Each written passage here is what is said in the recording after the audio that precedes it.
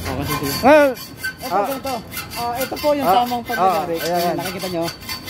Ito. yan, yan, yan, yan ang tamang paglagari.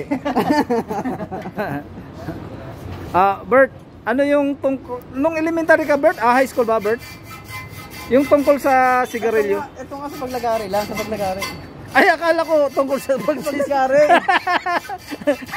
Hindi, yung tungkol sa pagsigarilyo, ano bang sabi sa'yo? Ay, Ali, bigla mo nalimutan. nalimutan ko ay. nalimutan ko. Hindi, mag... Si Maritas baka alam. Alam mo? Ka, Barrientos, tungkol doon. Yung natatanda. Alam ko, si Barrientos, gusto na rin tumigil yan sa sigarilyo. Kaso lang, parang ayaw eh. Gusto niya, pero parang ayaw. Gusto pero ayaw. Hindi, kasi makakatipid naman siya pag tumigil, di ba? Oo.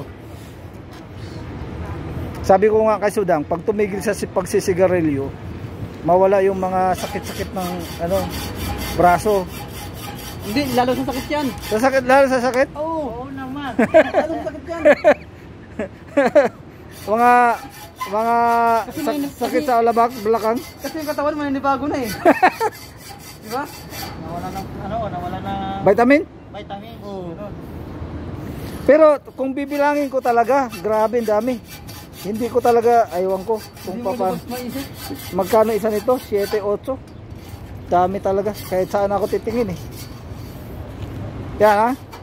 Patapos na yung project namin na IKEA. Ayan yung IKEA. Ang naiwan na lang dito, sus kadaming upos ng mga kamos boys. Kamus talaga. Kamus lang. Kamus, daming